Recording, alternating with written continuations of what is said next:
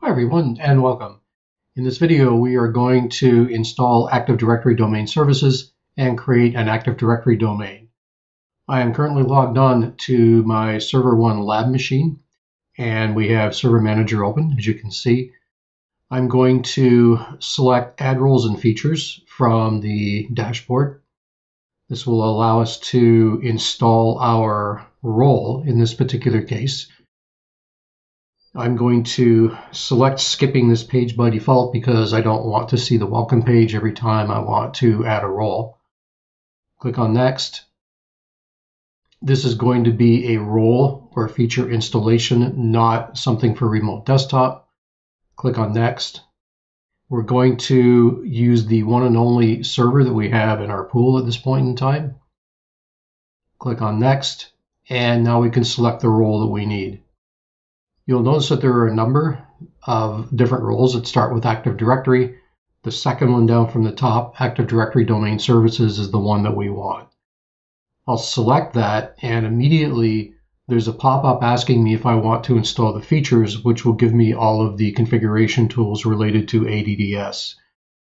I'm going to say I do want to add the features in. Click on Next.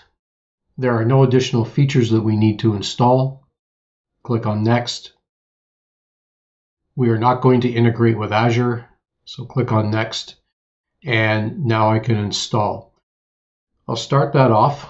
Uh, there was a selection that was right up here that would allow us to select that checkbox that would say go ahead and reboot the server if required once that role is installed. I didn't bother selecting that for two reasons. One, I don't want to reboot the server, but at the same time, there is no reboot required yet once we've installed the ADDS role. I'm going to pause now for a couple seconds while this installs and we'll come back when that's done. Okay, the role is installed. This is now complete. And you'll notice that there is a link to promote the server to a domain controller. That's what we need to do to actually get Active Directory installed. I'm going to select that and then I will close the window down. And selecting that has launched the Active Directory Domain Services Configuration Wizard. Let's maximize that. We have some choices here. If we have an existing domain or an existing forest, which we do not, so I'm going to select the bottom option, which is add a new forest. Once we do that, the first piece of information I have to provide is the name of the forest root.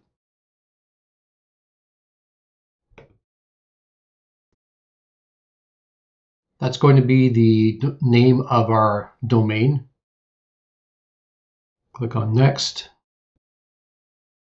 Next configuration screen is asking us a couple of things about functional level. So one is forest functional level, the other is domain functional level, and both of these are set to Windows Server 2016. What these mean is that for domain functional level, the lowest version of the operating system I can have in the domain is going to be Server 2016. And then in the forest, it's set to the same thing, but that means forest wide, regardless of how many domains I have, the lowest version of Windows Server I can have is again 2016 for a domain controller, not other servers, just domain controllers. For our purposes, this is going to work out just fine. Where you would find something a little bit different than this Let's say that you are installing, uh, as an example, a second domain, and you already have within your environment uh, a Server 2012 R2 domain, or maybe you're installing Server 2016, but you're also going to install a Server 2012 R2 domain. If that's the case, then you would have to make sure that you set these appropriately so that you don't get stuck having to use Server 2016 all the time in case that's not what you want to do. We'll leave that the way it is. We are going to install DNS server because we need DNS. We are also going to install a global catalog server because we must have one of those. And the last prompt on this screen is for the directory services restore password, which we would use if we would have to boot up into safe mode and recover some Active Directory objects. I'll just put this information in and we'll click on next. This screen is telling us that we don't have the ability to delegate DNS because we don't have a parent domain, which is fine. That's perfect for what we want to do. What you can do, and you very rarely do this with a new forest, but if you have a parent DNS domain, you can actually from here create a delegation, which means that we can allow some other domain to manage DNS for us. We don't have that, so I'll click on next. The system is now hunting on the network to try and find a domain that already exists with the domain that we're creating. If it finds one, we obviously have a conflict. But it did not find one, and it's now coming back and saying that our NetBIOS domain name is going to be that leftmost part of the Active Directory domain name that we put in a little bit earlier. That is fine. Click Next. Our next selection items are where are we going to install the files that make up the Active Directory database. By default, this is going to be in the Windows directory on C, and these days that is pretty much a common thing to do. There were some reasons to change that in past times, but we typically don't really do that anymore. And after clicking next, we have a summary we can also view the PowerShell script that's going to be used to execute this if we want. We don't need to do that. I'll click on next and the system is now going to do a prerequisite check. What that will do is make sure that all of the information that we provided is going to be doable with respect to creating the Active Directory domain. We'll see that we have a couple of warnings that come back this is in case we have an old Windows NT4 environment or system that we need to include in this environment, which we do not. So we can ignore uh, the warning at the top. The other one is that we cannot delegate DNS, and that's absolutely fine as well. So we'll click on install, and this is going to go away and install everything and reboot. So I'm going to pause the video at this point in time, and we'll come back once the system's booted back up again. Okay, we're back. The system's rebooted. I'm in the process of establishing my remote desktop session into server one. Now, one of the things I have to do is make sure that I specify the domain for authentication uh, in the credentials. If I don't do that, it's not going to know where to look to get authenticated. So notice that I include the administrator, user, and then also the domain on the end of that. and that will log me in.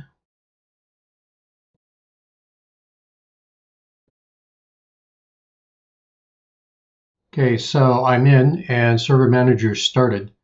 One quick thing I want to point out before we wrap the video up, I'm going to select uh, local server. And you'll notice now that here's my computer name, which I had before, and the domain name now instead of being a work group is the actual Active Directory domain that we just created. One thing we want to do to illustrate a little bit more how we manage Active Directory is get into some users and groups, and also something called organizational units. Going to, in Tools, launch a utility called Active Directory Users and Computers. This is something that we use extensively to manage our Active Directory environment. Okay, once I've launched Active Directory users and computers. I'm going to expand out my domain. I can see here a number of containers. I'm going to create an organizational unit for my IT users. I do that by right clicking on the domain and then I'll say new and organizational unit. Call that IT. And I'm also going to want an org unit for my regular users. Again, I'm going to right click on the domain, new organizational unit. I'll call this staff. Once I've got that done, I'm going to create for myself a standard user in the staff org unit. So I can either right click on this guy or I can right click in the empty space over here to the right, say that I want a new user and I'll specify the information for this to be me.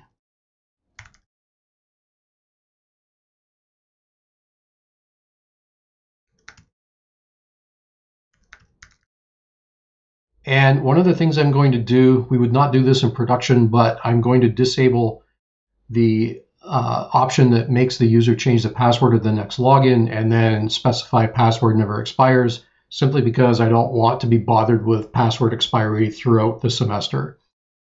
We'll say next and finished. And here is my new user. Now, normally, whenever we're doing standard work, we want to log in with a standard user, not with an administrative user. But we do have administrative work we have to do. So I'm going to create a second user account that's going to be my admin user.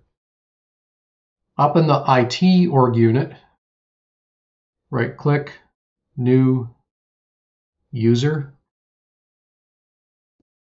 Again, this is going to be based on my information, but I'm going to change the login name and put dash A on the end of it. That's something that's fairly common. Uh, there are other practices that people follow. And I'll say next. Password, no change at next login and never expires. And I'll say next and finish. You might be looking at that and saying, okay, fine, but what can this user do that the other can't? And right now, nothing. So what I'm going to do is create a group. So right click, new and group. I'm going to create a security group called IT staff. And I'm going to add my user into IT staff. Right click on my user, add to group. Just typed in IT and hit enter because there's nothing else that starts with IT that's automatic. If I open IT staff, I can right click and bring up properties or just double click, which is a bit quicker. I can click on members. Here's my user account. And right now, this is not a member of anything. But what I'm going to do is I'm going to add type in DOM, hit enter, and I'm going to pick domain admins out of this list of groups that start with DOM. So now I've got this group that is added in as a member of domain admins. Now, why is this important? What's going to happen now when I say OK is that my user, my admin user, is a member of this group. This group is a member of the domain admins group and the domain admins group has complete administrative rights to the entire domain. Anybody who's a member of that group can do anything. So what I've done now is started on this thing called role-based access control, which we're going to look at in more detail in the next video. And what this will do is say that this user has this role in the organization, and I made this role, the group, a member of another group that gets access to resources somehow so that that nested membership is going to pass on whatever rights and whatever permissions are acquired by that domain admins group to this user. And that's all I really wanted to show at this time for setting that up. What that will allow us to do now, though, is if I log out of the server,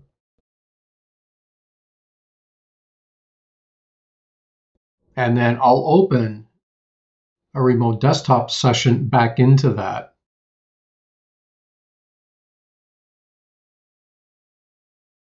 And what I'm going to do now is log in with my admin account.